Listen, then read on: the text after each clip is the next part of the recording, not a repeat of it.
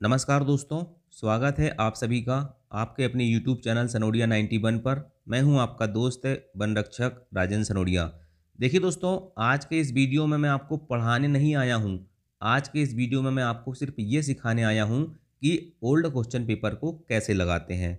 ये जो old question paper है एम पी फॉरेस्ट गार्ड परीक्षा दो हज़ार तेईस में जो संपन्न हुई थी, उसका बीस जून दो हज़ार तेईस की शिफ्ट के जी के बीस सवाल हैं।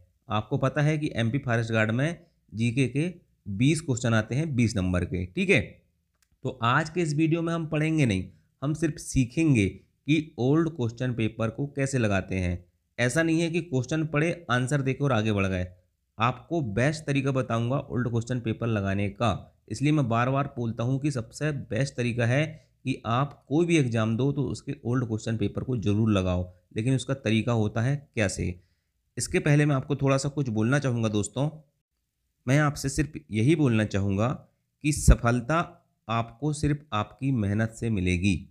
इंटरनेट के ज़माने में संसाधनों की कमी किसी के पास नहीं है, बस आपके पढ़ने का तरीका आपको सिलेक्शन दिलवाएगा।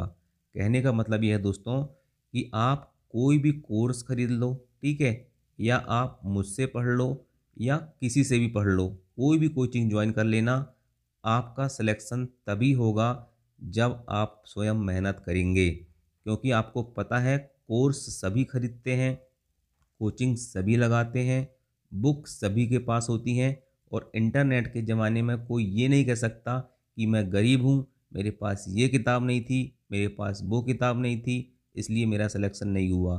ठीक है इंटरनेट का ज़माना है, सभी चीज़ आपके पास निःशुल्क पड़ी हुई है, चाहे यूट्यूब हो, चाहे गूगल हो चाहे कोई भी चीज़ हो, आप कोई भी चीज़ सर्च करके दुनिया का कोई भी चीज़ पढ़ सकते हो आज के समय में, ठीक है? बस आप कितना उसको सीरियसली पढ़ते हैं, आपका तरीका क्या है, आप कंटिन्यूटी कितनी रखते हैं, यही चीज़ें आपको डिपेंड करती हैं कि आपका सिलेक्शन होगा कि नहीं होगा।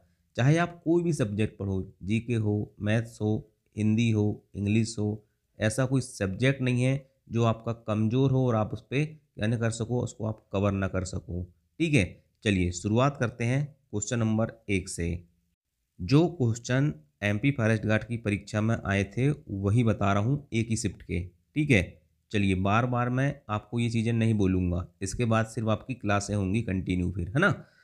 तो खरदा के युद्ध के समय भारत का गवर्नर जनरल कौन था? देखो आप पुस्तक में पढ़ते हो खुर्दा का युद्ध, लेकिन यहाँ लिख कर आया है खरदा का युद्ध। तो आपके अंदर ये कॉमन सेंस भी होना चाहिए कि खुर्दा और खरदा क्या होता है, ठीक है? चलिए सबसे पहली बात देखिए दोस्तों क्वेश्चन पूछ रहा है कि खरदा के युद्ध के समय भारत का गवर्नर जनरल कौन था? ठीक है?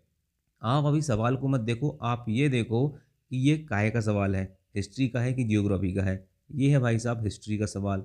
अब हिस्ट्री के सवाल में भी कौन सी हिस्ट्री का सवाल है?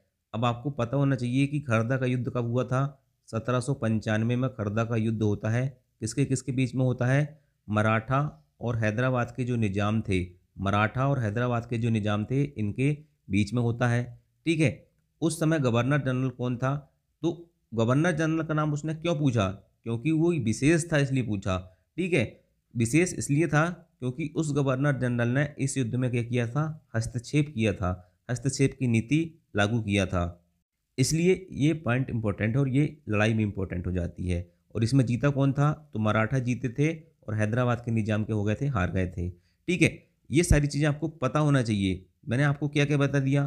खरदा की लड़ाई जो हुई है, सत्रह सौ पंचानवे में हुई है, ठीक है? मराठा और निज़ाम के बीच में हुई है, ठीक है? इसके बाद आपको बता दिया, कौन जीता? मराठा जीते। अच्छा एक चीज़ और अब कभी धोखा से पूछ ले कि खरदा कहाँ पर है वर्तमान में? तो खरदा भाई साहब महाराष्ट्र में है, ठीक है? आपको एक क्वेश्चन पढ़ने के साथ साथ सारी चीज़ें पता होना चाहिए। अब देखिए कह रहा क्वेश्चन कि खरदा के युद्ध के समय गवर्नर जनरल कौन था? तो गवर्नर जनरल था लॉर्ड जॉन सोर। ये वाला ऑप्शन इसका सही था। आपको ये पता हो गया कि हिस्ट्री है, ठीक है? हिस्ट्री का ये क्वेश्चन आया और ये आधुनिक भारत का क्वेश्चन हो जाएगा, ठीक है? चलिए, नेक्स्ट क्वेश्चन देखते हैं। गुड्स एंड सर्विस टैक्स निम्नलिखित में से किन संशोधा द्वारा पेश किया गया था? इसको आप पॉलिटी का क्वेश्चन कह सकते हो। अब करंट अफेयर्स का नहीं कह सकते इसको क्योंकि काफ़ी पुराने हो गया, इसलिए ये पॉलिटी संविधान का क्वेश्चन हो गया। तो किस संविधान संशोधन द्वारा जीएसटी को लागू किया गया था या पेश किया गया था? ठीक है? सबसे पहली बात तो इसका आंसर मैं आपको बता देता हूँ। इसका आंसर है एक सौ एक संविधान संशोधन अधिनियम 2016 लागू कब होता है जीएसटी एक जुलाई 2017 को लागू होता है। देखो, बहुत इंपॉर्टेंट चीज़ है इसमें। एक सौ एक संविधान संशोधन अधिनियम 2016 था। लागू एक जुलाई 2017 को हुआ। अगर आपसे पूछ ले कि विधेयक कौन सा था एक सौ संशोधन विधेयक था। देखिए, संविधान संशोधन अधिनियम 101 है, लेकिन विधेयक 122 वाला लाया गया था। इस चीज़ को याद रखना। अच्छा ये है क्या? ये एक प्रकार का अप्रत्यक्ष कर है। कैसा है? अप्रत्यक्ष कर है। इस चीज़ को भी आपको क्या करना है? याद रखना है। सीधा पूछता है, जीएसटी किस प्रकार का कर है? प्रत्यक्ष है, अप्रत्यक्ष है, और दो ऑप्शन और दे देगा और आपसे पूछ लेगा। तो ये अप्रत्यक्ष कर है। अच्छा कितनी दर लागू होती हैं? पाँच प्रकार की दरें लागू है। कौन कौन सी? ज़ीरो परसेंट, पाँच परसेंट, बारह परसेंट, अठारह परसेंट और अट्ठाईस परसेंट। ये वस्तु के ऊपर डिपेंड करता है कि कौन सी दर लगाएँगी। अठारह परसेंट आपने ज़्यादातर देखे होंगे। ठीक है? चलिए, नेक्स्ट क्वेश्चन। बेकाल झील किस देश में स्थित है? बेकाल झील किस देश में स्थित है? तो बेकाल झील रूस में स्थित है। लुसेंट में आपने पढ़े होंगे कि विश्व की सबसे गहरी झील कौन सी है? बेकाल झील है। विश्व की सबसे बड़ी मीठे पानी की झील कौन सी है? सुपीरियर झील है। ठीक है? आपने पढ़ा होगा कि विश्व की सबसे बड़ी खारे पानी की झील कौन सी है? कैस्पियन सागर है। आपको ये पता था कि बेकाल झील जो है विश्व की सबसे गहरी झील है, लेकिन आपको ये पता नहीं था कि किस देश में स्थित है, क्योंकि लूसेंट में नहीं लिखा है। ठीक है? तो ये है रूस में, है ना? तो आपको पता होना चाहिए देखो, वो ज़माना गया जब लूसेंट पढ़ के सिर्फ़ आप कवर कर लेते थे। लूसेंट अभी भी आपको सबसे पहले लूसेंट पढ़ना ही पड़ेगा। लूसेंट आपका वेस है, ठीक है? कॉम्पिटिशन एग्ज़ाम की तैयारी में लूसेंट आपका आज के समय में बेस है, ठीक है? तो आपको पढ़ना ही पड़ेगा। तो बेकाल झील कहाँ पर है? बेकाल झील भाई साहब आपका रूस में है।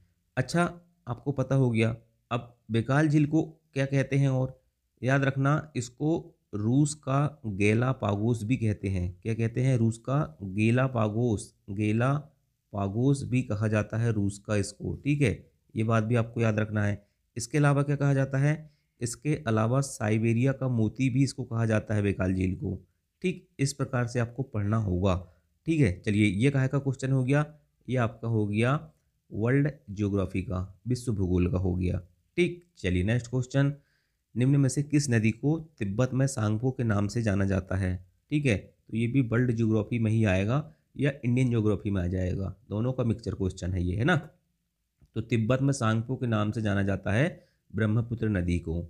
ब्रह्मपुत्र नदी जो है दोस्तों, याद रखना, इसको अरुणाचल प्रदेश में दिहांग कहते हैं। कहाँ कहते हैं? अरुणाचल प्रदेश में दिहांग कहते हैं। बांग्लादेश में क्या कहते हैं ब्रह्मपुत्र नदी को? बांग्लादेश में कहते हैं जमुना। क्या कहते हैं? जमुना। अच्छा चीन में क्या कहते हैं? चीन में कहते हैं यारलुंग तिसांगपो। यारलुंग तिसांगपो। ठीक है तो अलग अलग नाम है ये। तिब्बत में क्या कहते हैं? सांगपो। ठीक है, ब्रह्मपुत्र नदी को। तो सारी चीज़ें आपको क्या करना है? जब आप एक क्वेश्चन को सॉल्व कर रहे हो ओल्ड क्वेश्चन पेपर में तो उसके जितने भी संबंधित क्वेश्चन है उस पॉइंट से, ठीक है, उसको सबको पढ़ना होगा। ठीक है, चलिए नेक्स्ट है। निम्नलिखित में से कौन सा वेद प्रारंभिक वैदिक युग की सभ्यता के बारे में जानकारी प्रदान करता है? तो ऋग्वेद ऑप्शन नंबर ए इसका सही उत्तर था। चार वेद हैं, ऋग्वेद, यजुर्वेद, सामवेद अथर्वेद ऋग्वेद की रचनाओं को पढ़ने वाले ऋषि को क्या कहते हैं? होत्र कहते हैं। इसके तीसरे मंडल में क्या है? सूर्य देवता सावत्री को समर्पित प्रसिद्ध गायत्री मंत्र है। नौवें मंडल में देवता सोम का उल्लेख है। ठीक है चलिए, दसवें मंडल में क्या है? दस की युद्ध है। दस राजाओं के बीच की जो लड़ाई हुई थी, उसका वर्णन है। ठीक है, चलिए नेक्स्ट क्वेश्चन है। पुंग चोलोम नृत्य किस राज्य से संबंधित हैं? तो नागालैंड से संबंधित था। मतलब आपको भारत के जो नृत्य हैं, राजकीय नृत्य हैं, ठीक है, भारत का कौन सा नृत्य किस राज्य में किया जाता है, ये टॉपिक आपको पढ़ना है। तो पुंग चोलोम, नागालैंड। नागालैंड की राजधानी कोहिमा। नागालैंड एकमात्र भारतीय राज्य है जिसकी आधिकारिक भाषा क्या है? अंग्रेज़ी है। नेक्स्ट क्वेश्चन, सिडबी की स्थापना किस वर्ष की गई थी? सिडबी की स्थापना होती है, कब होती है बताइए? 1990 में। ठीक है? SIDBI, S I D B I. Question देखिए, एग्जामिनर ने कैसा पूछा है? हिंदी में सिडबी लिख दिया है। ठीक है? तो इसका पूरा नाम क्या होता है? भारतीय लघु उद्योग विकास बैंक, इसको कहते हैं सिडबी। 1990 ठीक है? 1990 में इसकी स्थापना हुई थी एक अधिनियम के द्वारा। ठीक है? चलिए नेक्स्ट क्वेश्चन विश्व जल दिवस कब मनाया जाता है? बाईस मार्च को विश्व जल दिवस मनाया जाता है। बाईस मार्च को विश्व जल दिवस मनाया जाता है। नेक्स्ट क्वेश्चन एमनेस्टी इंटरनेशनल का मुख्यालय कहाँ स्थित है? तो एमनेस्टी इंटरनेशनल का मुख्यालय भाई साहब लंदन में स्थित है। कहाँ पर स्थित है? एमनेस्टी इंटरनेशनल का मुख्यालय लंदन में स्थित है। ठीक है? चलिए, बीस क्वेश्चन है भाई साहब, वीडियो बहुत बड़ा हो जाएगा, है ना? अभी दस बारह मिनट होने लगे। नेक्स्ट है। किस नदी को मध्य प्रदेश की गंगा कहते हैं? तो मध्य प्रदेश की गंगा बेतवा को कहते हैं। अब देखिए, आपको मैं बताना भूल गया यहाँ पर। ये आपका मुख्यालय वाला क्वेश्चन हो गया। ये प्रमुख दिवस से हो गया। ठीक है, ये सिडवी की स्थापना मतलब ये इकोनॉमी का क्वेश्चन है ये। ठीक है, इसके अलावा पुंगचुलुम नृत्य, भारत के नृत्य से संबंधित हो गया। टॉपिक देखिए आप टॉपिक ठीक है? इसके बाद ये क्वेश्चन आ गया, मध्य प्रदेश की गंगा। एम के, बहुत सारे लोग कह रहे थे कि एम के नहीं आता।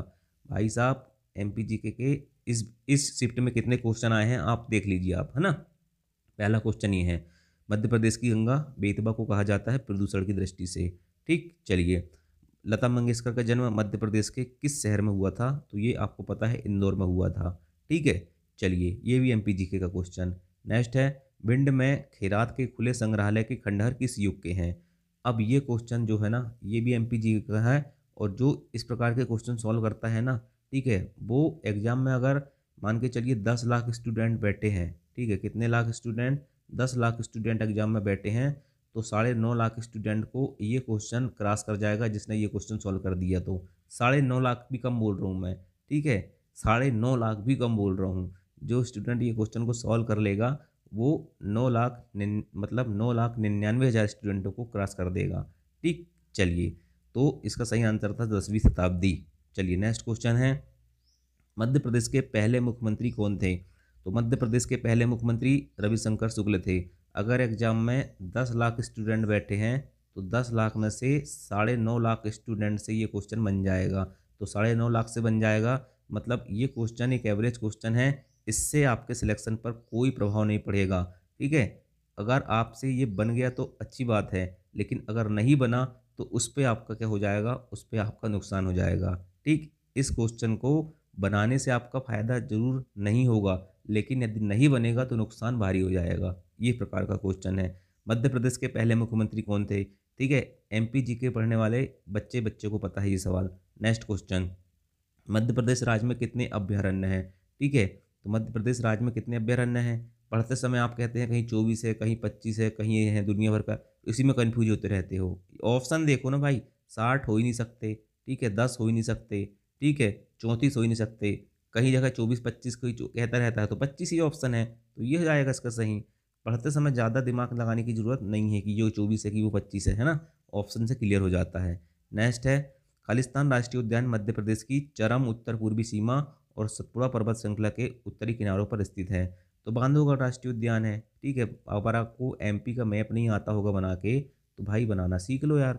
एमपी का मैप ठीक है? एमपी का मैप थोड़ा थोड़ा बनाना, सीख लो। हमने भी सीख लिए हैं ये हल्का हल्का बांधवगढ़ राष्ट्रीय उद्यान उमरिया में, इधर साइड में। सीधा लिखा है उत्तर पूर्वी सीमा। उत्तर पूर्वी सीमा ये होगी, है ना? चलिए नेक्स्ट क्वेश्चन है। खालिस्तान मध्य प्रदेश का पारंपरिक नाट्य है, ठीक है? ये आपको बता रहा हूँ, ये भी कोई ये भी वही सवाल हो गया, जो बच्चे वाला सवाल हो गया, ठीक है? इससे आपके सिलेक्शन पर कोई प्रभाव नहीं पड़ेगा, ठीक है? दस लाख में से नौ लाख स्टूडेंट इस क्वेश्चन को सॉल्व कर लेंगे। माच मध्य प्रदेश का पारंपरिक नाट्य माच है। नेक्स्ट क्वेश्चन राष्ट्रीय विकास परिषद के उद्देश्य के बारे में कौन सा सही नहीं है? ये क्वेश्चन वो है, अगर दस लाख लोग बैठे हैं एग्ज़ाम में तो दस लाख में से इसको कितने लोग सॉल्व करवाएँगे? इसको मात्र एक हज़ार लोग सॉल्व कर पाएँगे इस प्रकार का क्वेश्चन है। ठीक है, इस प्रकार के क्वेश्चन आपको एग्ज़ाम में सिलेक्शन दिलवाते हैं।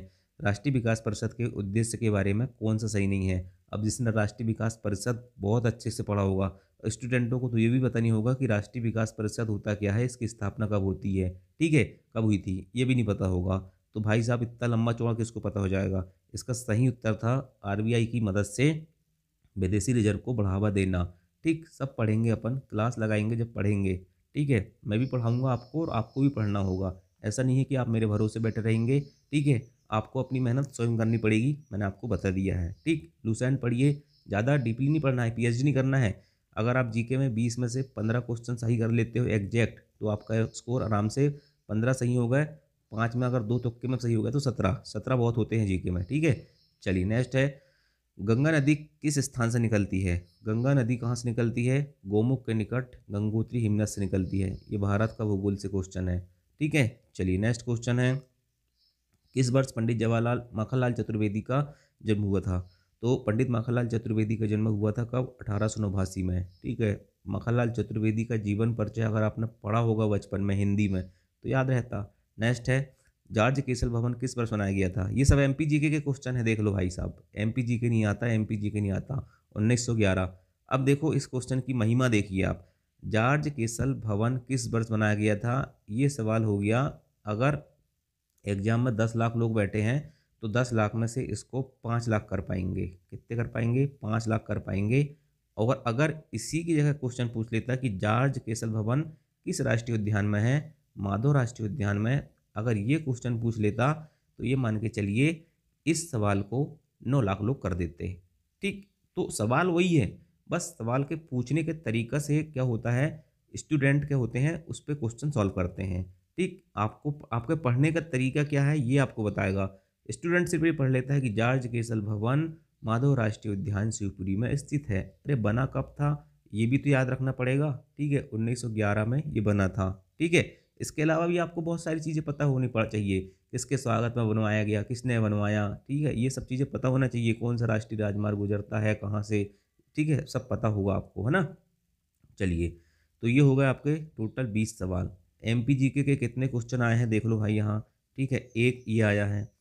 एक ये आ गया, दो हो गए, ठीक है? इसके बाद तीसरा ये हो गया, ठीक है? चौथा ये हो गया, पाँचवा ये हो गया, छठवा ये हो गया, सातवा ये हो गया, आठवा ये हो गया, नौवा ये हो गया, ठीक है? नौ question M P G K हैं। कितने क्वेश्चन हैं? नौ question M P G K हैं। मैं इस बात को मान रहा हूँ भाई साहब कि किसी किसी शिफ्ट में आपको दो तीन क्वेश्चन देखने को मिले हैं और किसी शिफ्ट में देखने को नहीं भी मिले हैं। लेकिन इसका मतलब ये तो ना है कि आपको पता है कि किस शिफ्ट में एम पी का क्वेश्चन आएगा और किस शिफ्ट में नहीं आएगा। ठीक, बहुत सारे लोग बोल रहे थे कि एम पी के नहीं आता है एम पी के नहीं आता। अब अब आपके सामने ले आया हूँ ना मैंने तो ओल्ड क्वेश्चन पेपर ही लाया हूँ ना। पीबी की साइट से डाउनलोड किया हूँ पेपर कोई मैंने अपने घर में तो ना बनाया हूँ ये पेपर इसलिए मैंने आज क्या किया था क्वेश्चन टाइप नहीं किया और स्क्रीनशॉट लगा के पेपर बना, ये वीडियो बनाया है, ताकि आपको विश्वास हो, है ना? तो चलिए दोस्तों थैंक यू जय हिंद, जय भारत।